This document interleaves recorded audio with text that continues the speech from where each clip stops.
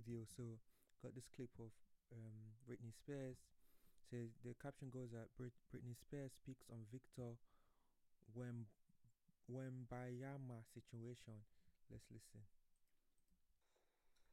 Hi, so I wanted to share with you guys an incident that happened in Vegas that a lot of people are talking about.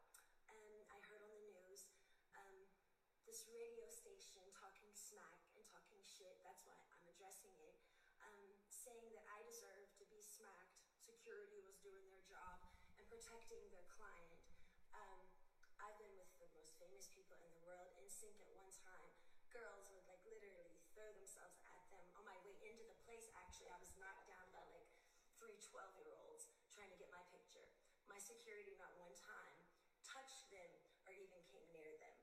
Um, point being is, um, I didn't appreciate the people saying that I deserve to be because no woman ever deserves to be hit. I simply tapped him on the back. and I was backhanded, hit my face, came back on the floor. My best friend picked me up and held me.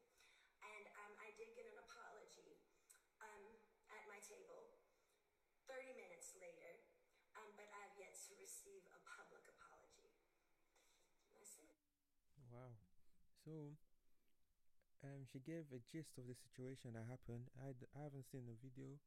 I didn't know about this, but um, it's good to know. Like she came out and she has spoken, given her own account, and it's fair to say what she said. Um, it makes sense.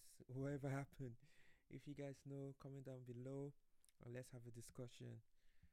Like, share, subscribe, and I'll see you in the next video. Peace.